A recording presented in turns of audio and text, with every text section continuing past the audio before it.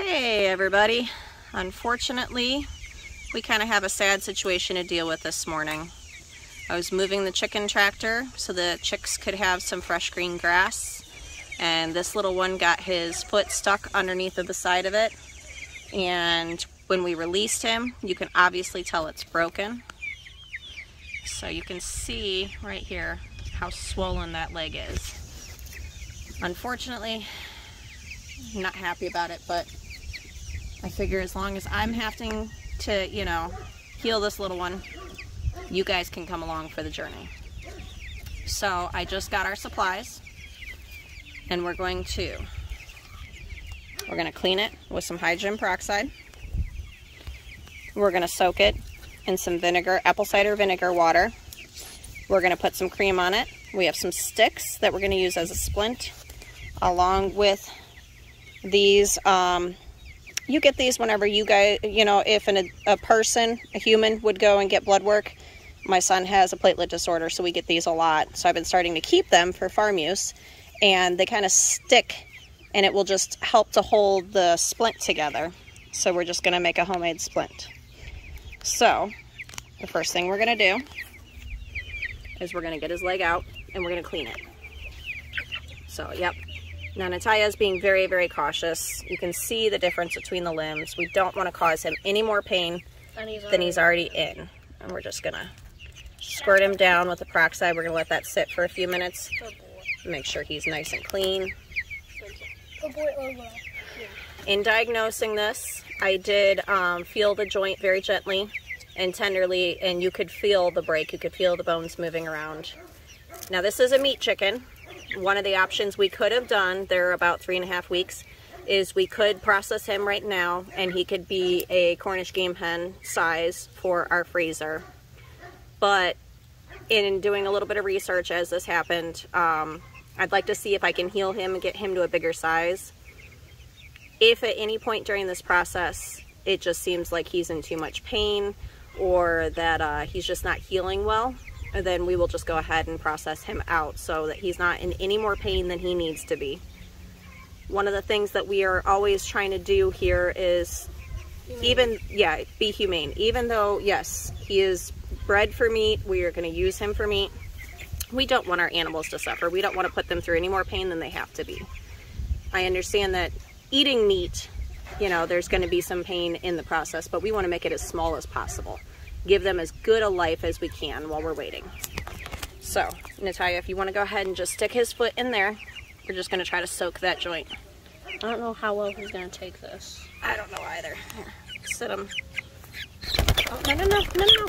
Maybe try to get him. Hold on. Hold on, Hayden. Like, help I know, buddy. There you go. And just kind of gently set it in there. Perfect. Ease him in. There you go. Good, Good job. job. There we go. All right. And then we are going to pause the video and we are going to come back in about 10 minutes. Okay, so we've soaked this limb for 10 minutes you can see it looks a little bit healthier already. I mean, poor thing's not doing well. We're going to take a stick and we're going to break it.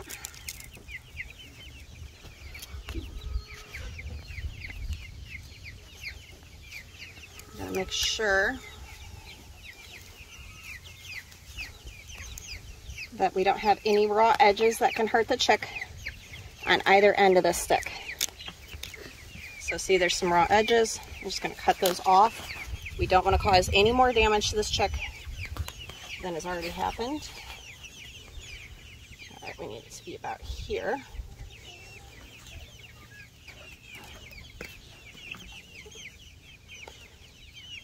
Obviously the pocket knife was not the best choice for cutting a splint in retrospect.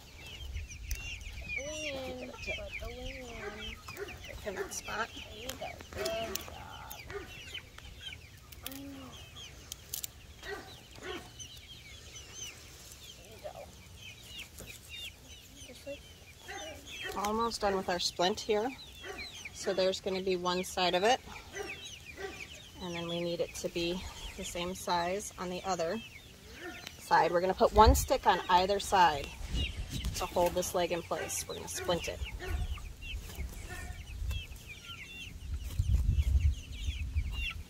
Chickens are pretty amazing. They can heal from a lot of things you would not expect.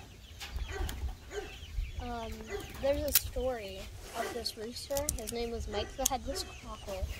He was um, supposed to be for meat, and he survived 18 months without his head because they didn't hit the specific, I forget if it's a specific vein or a specific nerve, but they didn't hit that when they tried to um, butcher him. So he lived for 18 months without a head. I know, I know. I'm sorry, little one. I'm sorry. They're actually not fighting it too much. No. All right, so we're putting cream all around this. This is going to keep it from getting any infections, hopefully. And then now we're going to take our splint. You get blue because you're snazzy. I might get blue and red, we'll see. We're going to put it on either side. Trying to find a good spot so that we don't rub it raw. May I suggest putting one down and then putting another one down? That way you don't like blister him. Like put that one, wrap that one around his leg, mhm. and then put the sticks on, and then wrap the other one. That's a good idea. Or even just wrap the stick Yeah. a little bit. Just so you don't blister. I like that idea. Good job, Natalia. Good thinking. I know, I know.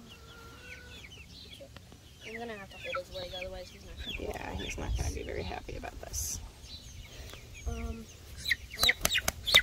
Okay, okay, okay. I know. Um, I'm, I'm, I'm Hey, he's he's the. American flag. He the color he is is white, and then his brace is um, blue and red. I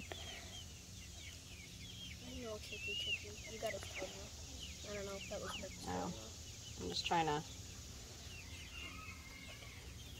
get it wrapped around, and then we'll put the other splint. Now these stick to themselves.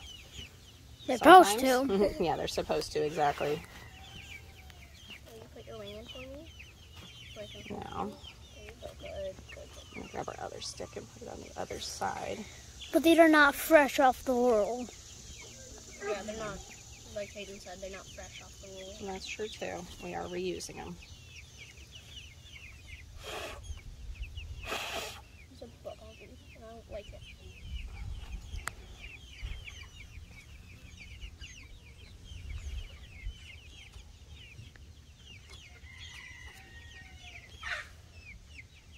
Chill.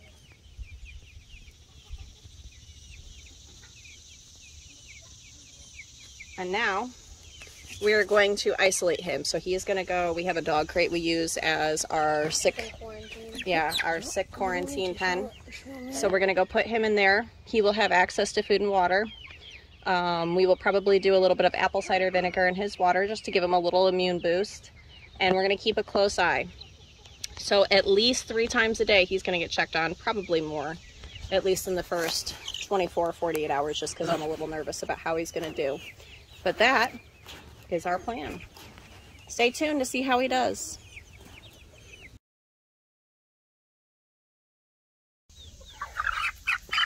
All right, we're back here with the little chick that broke its leg.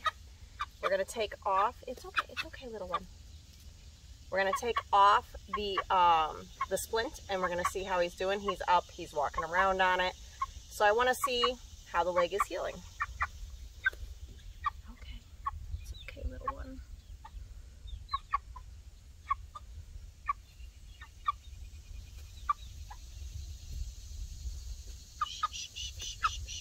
It's okay, little one.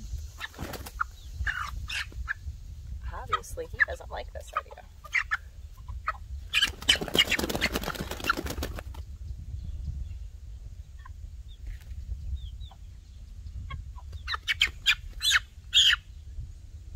There we go. No, no, no, no, no. No, that's not working either. Well, I need to do something to get this off of you, sir. Okay. Listen. Listen. It is time.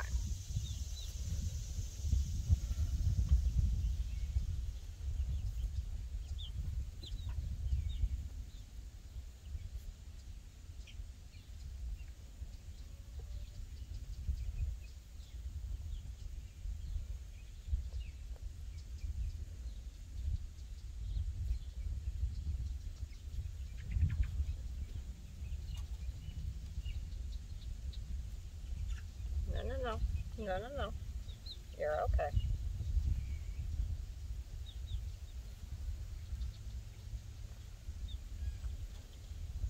You're okay.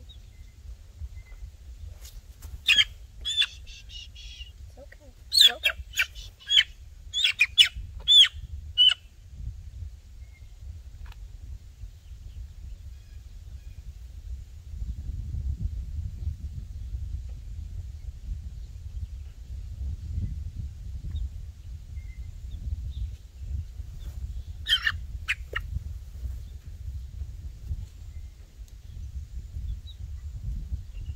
All right. So splint is off. I'll see how he's walking.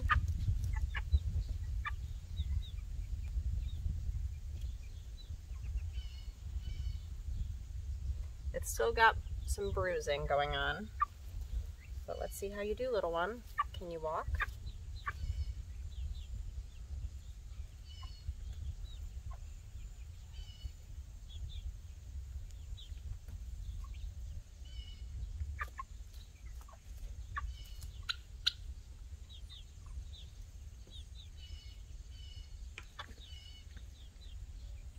He's standing on it. He's a little tentative to walk. Let's see how he does here. I imagine it's going to take a minute.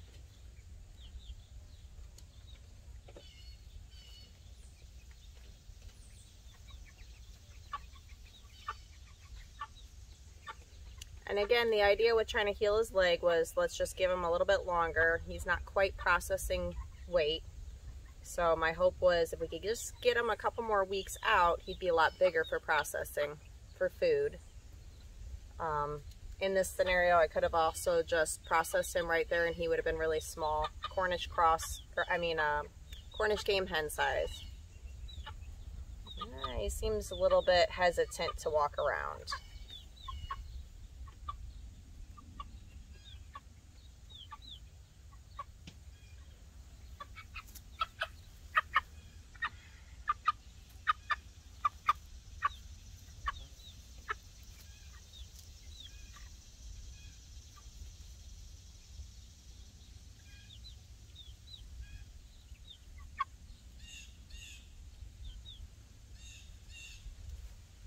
The risk you run with keeping the bandage on too long is you can cause wounds.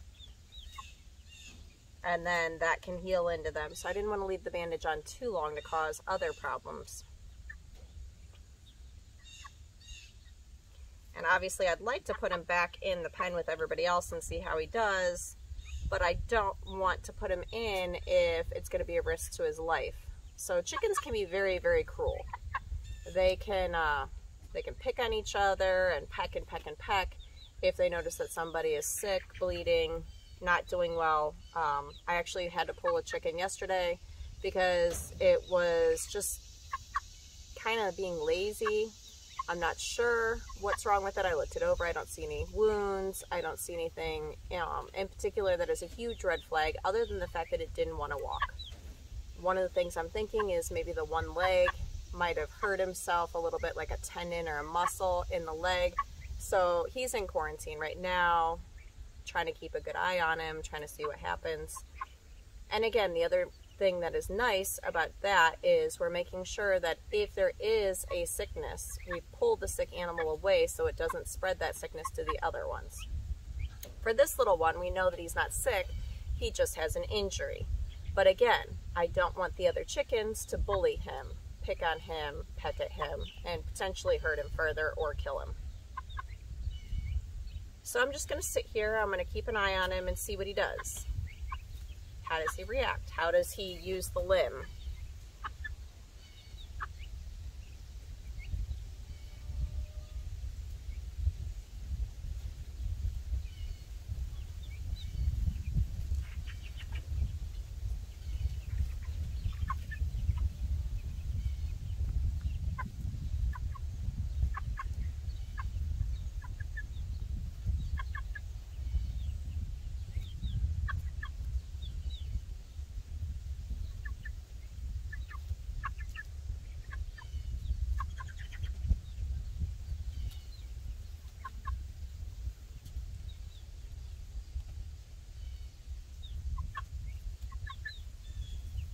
So he is tentatively using it. He's a little slow. He's limping a little bit, but I think. Don't get in front of my camera, please.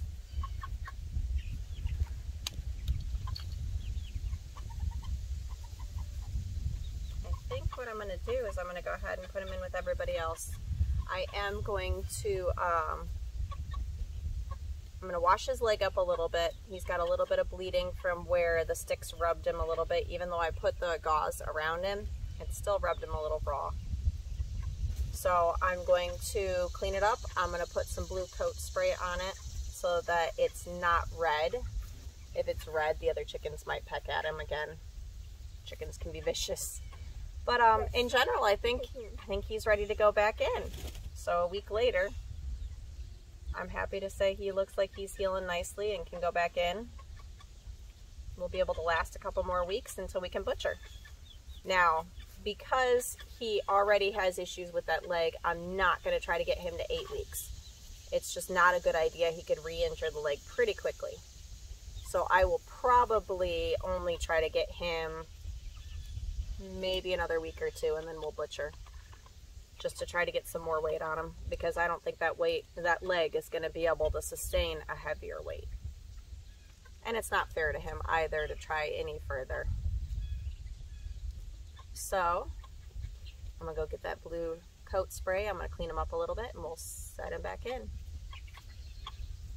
Like, Can you keep an eye on him for a minute? I'm going to go get stuff. he's like, it's fun. He doesn't know what to do either because the gauze is not on it. Can you keep an eye on him? All right, just let him peck. Don't push him, okay? I'm just gonna tell him. All right, bring him over here. Itch, itch, itch. All right. So, you gotta watch out, guys. Oh, Okay, so you can see, Aiden, you're right in front of the camera. So you can see that the stick rubbed him a little bit raw. He's got a little bit here. So I have a couple of wet paper towels. Here, in a minute. I know, I know. Shh, shh, shh, shh, shh, shh, shh. Mom, am I spraying? So we're just gonna kind of make sure that it's nice and clean. Okay. All right, little one, let me see. Hey, remember Not too bad. And this is again why you don't want to leave that on for too long. Um, had we left those sticks on too long, it might have made it worse. A little hydrogen peroxide. Which does not. Again, we want it to be very clean. Leave that on there for a minute. I go spraying. Cool. Mom, could I open it? Uh, you can open it, sure. Hold on. Hey, pour. Oh, he's gonna be careful. So I've never done this before, healed a chicken's leg. This was the first time, stop, wait. Um, this was the first time for me. I looked up the information on YouTube, and as I keep telling you guys, anybody can do this. You can be a homesteader. You can learn these skills.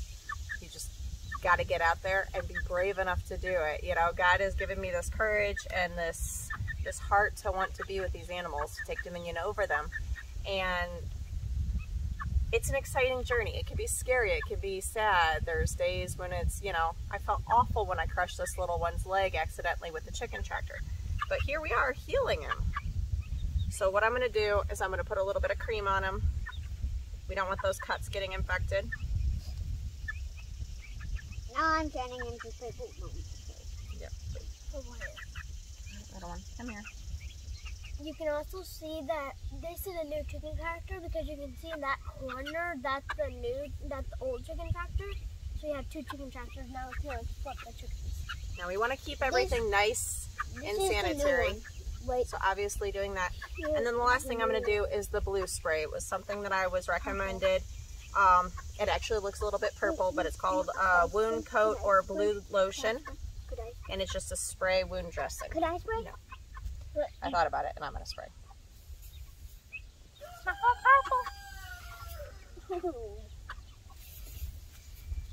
Could you Did we please get everything? Yeah, I'm. Okay. Is, oh, So if you look, it turned his leg kind of purplish blue, but what this is going to do is this is going to cover that goes good. Don't this clean is going to cover any of the blood that might still be a little bit visible so that this one will be safe going into the uh, chicken tractor. Because other the other chickens peck at red. Yep, I already explained that part. All right, so this little one is ready. What we're gonna do is we're gonna put him in the chicken tractor and then I'm gonna set a timer and probably every 15, 20 minutes, I'm just gonna come out here and just observe him. I don't wanna leave him alone in here for long. What if, you know, something happens, he re-breaks the leg? What if, you know, one of the um, little ones peck on him? So we are going to be very, very cautious through this whole reintegration process because it's a meat chicken, it's a little bit easier to put him back in with everybody. If this was part of the laying flock, we'd have to be extra cautious. So we're gonna go ahead and we're gonna put him back in and see how he does.